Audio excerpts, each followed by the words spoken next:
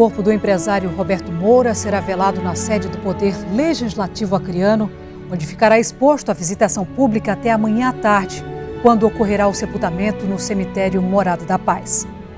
Logo após a confirmação da morte do empresário Roberto Moura, ainda nas primeiras horas da manhã, os familiares iniciaram os procedimentos para a liberação e traslado do corpo. No Acre, a expectativa era para saber o local onde o corpo seria velado.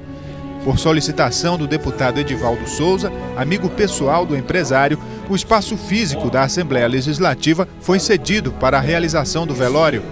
Ainda abalado com a notícia, o deputado fez um discurso na tribuna da casa, lamentando a morte do empresário. O momento é de dor para todos nós.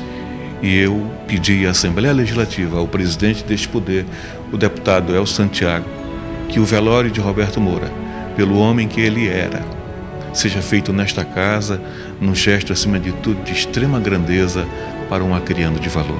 Por conta do velório, a mesa diretora da Assembleia Legislativa cancelou a sessão desta quinta-feira, quando a casa ficará aberta ao público apenas para a visitação e as últimas homenagens ao empresário antes do sepultamento. Falamos com o filho dele, o Marcelo, nós é, de pronto já, já chegamos, oferecemos aqui o espaço, né? E ele concordou, entendendo, entendendo e, e agradeceu.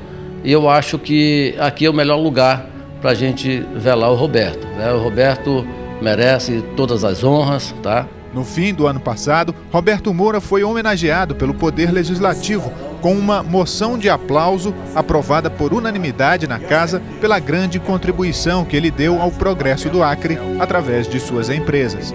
A TV Gazeta sempre esteve perto das minhas lutas, às vezes dos meus protestos, às vezes das minhas reclamações e das minhas utopias. Portanto, eu tenho muito a agradecer a essa grande empresa, a esse grande acriano, a esse grande tarauacaense da minha terra política, Tarauacá.